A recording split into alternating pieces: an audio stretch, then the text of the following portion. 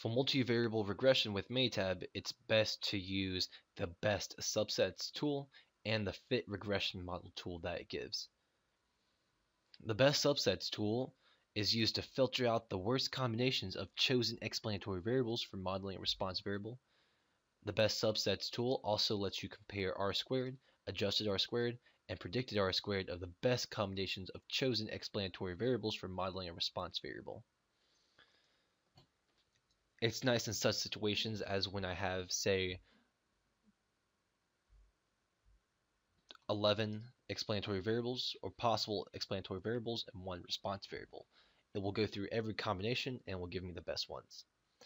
You don't have to select anything as you do in Excel, but what you'll have to do is you'll have to go to Stat, Regression, Regression, Best Subsets. It'll give you a little description and you can click on that. You'll get an empty box as I do now and I'll go through each of these dialog boxes one by one. The first dialog box, the response box, is just the box that you put your response variable, and all of your possible variables will be appearing right here. And what you'll do is you'll click on it and then click select. Now then the two other boxes are important as well, the free predictors and the predictors in all models box. The predictors in all models box is where you'll put any variables that you want to be in every regression model that it pops up with. But if you don't have any variable that you want to be in every model, regardless of how good it is as a predictor or not, what you'll do is you'll put it in the free predictors, which will allow Minitab to do as it usually does with it and compare them all. You can either click the explanatory variable and click select or you can just double click it as I'm doing now to insert them in whatever box your cursor is in. You see as my cursor is in this box.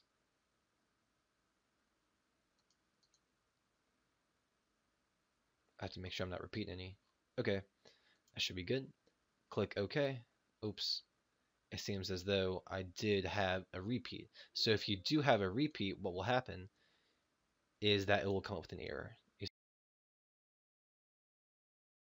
I have nothing I want to keep in every model, so I'm going to click OK. And the information will be spit into the session window right here.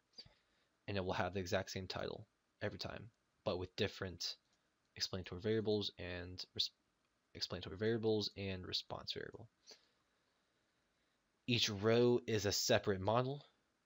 That's an important thing to clear. The first column specifies how many variables are in each column, and the last little bit here specifies which variables are in. And notice that it writes the name of the explanatory variable vertically. So it's a good idea to choose short abbreviations so that it's easy to pick out which ones, because I have a big old mess right here. But you can see they correspond to the same, the same things. The other columns will give you information such as the r squared of each model, the predicted r squared of each model, the adjusted r squared of each model. And these last two columns right here, you don't really don't have to worry about for this class. And that's how to use the best subsets tool for for I'm so, I'm sorry for Minitab. If you already know which variables fit your needs, and you have found the, your best model with this, or maybe you just want to see what the model is, what you'll do is you'll go to the same file path, but you'll use the fit regression model tool. Go ahead and click on the fit regression model tool, and this will actually spit you out your equation for your multivariable regression model. For responses, what you'll do is you'll collect, or in this dialog box right here, you'll click and insert your response variables. And this box right here, continuous predictors, that's where you you'll put your continuous variables that have pretty much numbers.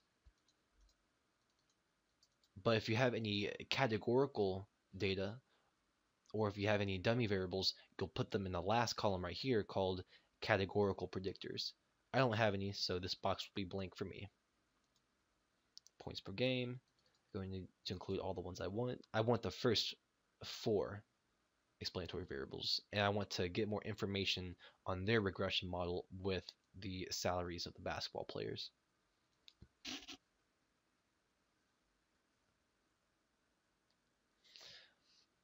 It'll spit it in the same place, but notice that it'll be right below, it'll be right below the best subsets data. Regression analysis. The first section that will appear is analysis of variance. You don't have to worry about that. The next section that will appear is the model summary. This contains the same information found in the best subsets tool. The coefficients section will include a list of each explanatory variable, their coefficients in the model, and specific things about their coefficients that's in upper level statistics. The next section is regression equation that includes the regression equation, the coefficients of each explanatory variable, and each explanatory variable exactly as you labeled it down here. And the last section is fits and diagnostics for unusual observations. So for each separate model, it's going to look at each of your observed values that you have in your data, and it's going to see, it's going to put an R next to it if it has a big residual and x next to it if it has a gigantic res residual. And that's how to use the fit regression model tool for Minitab. And I hope these help you with doing multivariable regression. Good luck. Patrick out.